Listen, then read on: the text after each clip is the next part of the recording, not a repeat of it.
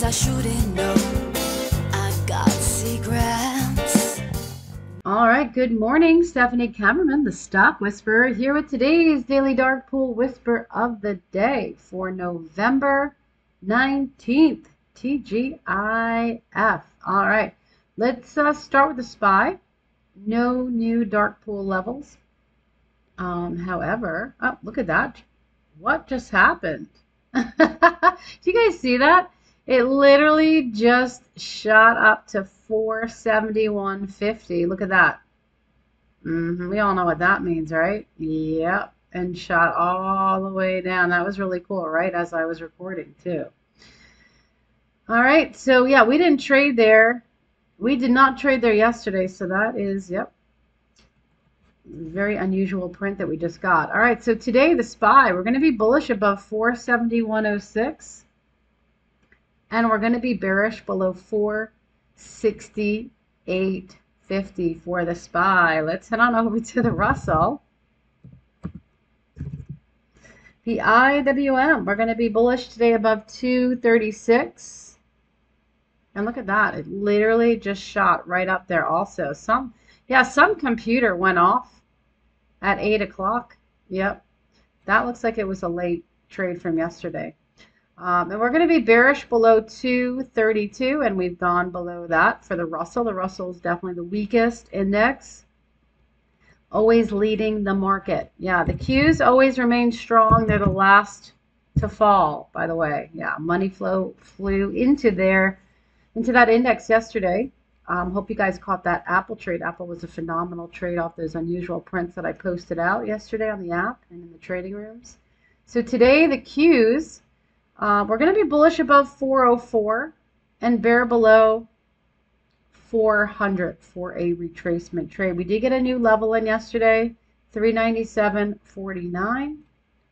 All right, and we are well above that. Let's head on over to E-minis. E-minis, bullish above 4702.50 and bear below 46.84. And it looks like we might be headed there. We'll see.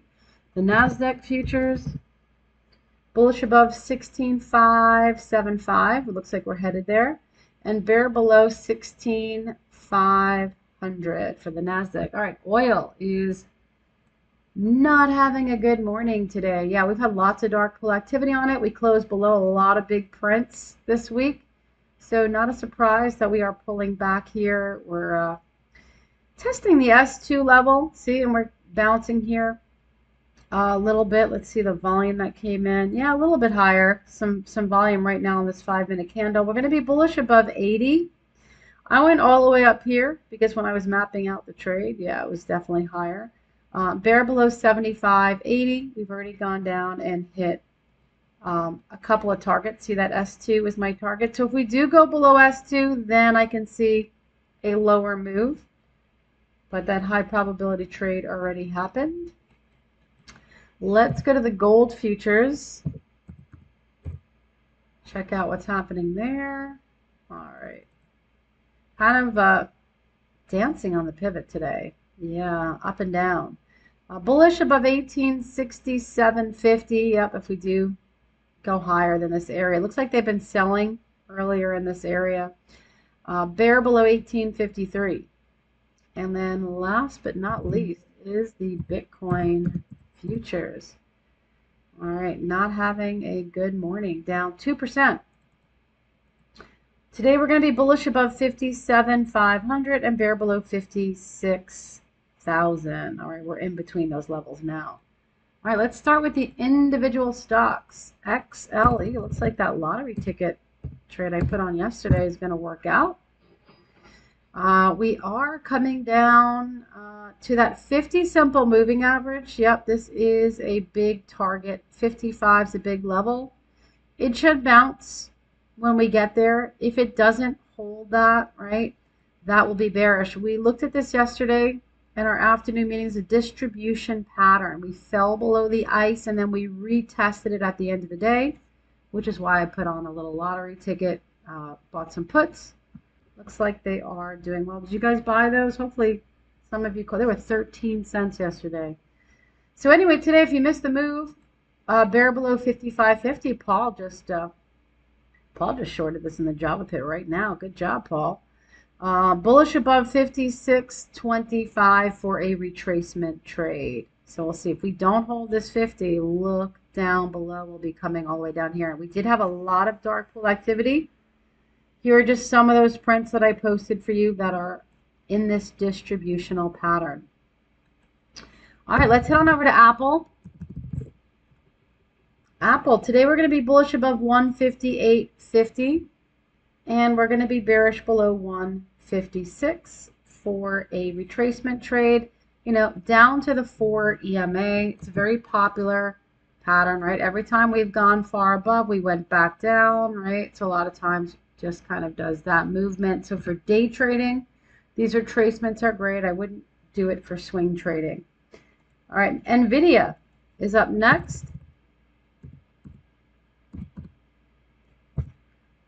We had some great trades on this yesterday in the Java pit. Let's see, today, bullish above 325.50, bear below 317.50 for a retracement trade. Is it going to go and fill the gap in, or is it going to push higher? Let's uh, head on over to Tilray. Has volume this morning, a lot of volume. Does have a short sale restriction, but you can see Interactive, which is what my DAS Trader Pro is tied with, is letting you short it for 950,000 shares. Yeah, Interactive is really good. They always have shares available. Bullish above 12 and bear below 11. All right, for Tilray. American Airlines had a very large print